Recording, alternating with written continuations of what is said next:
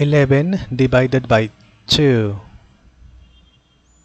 11 is not less, therefore 2 multiplied by which number is nearest to 11 but not greater.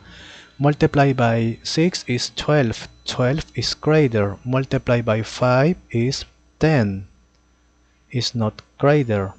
Subtract is 1 there is not number that goes down, therefore complete, always complete with 0, here with point.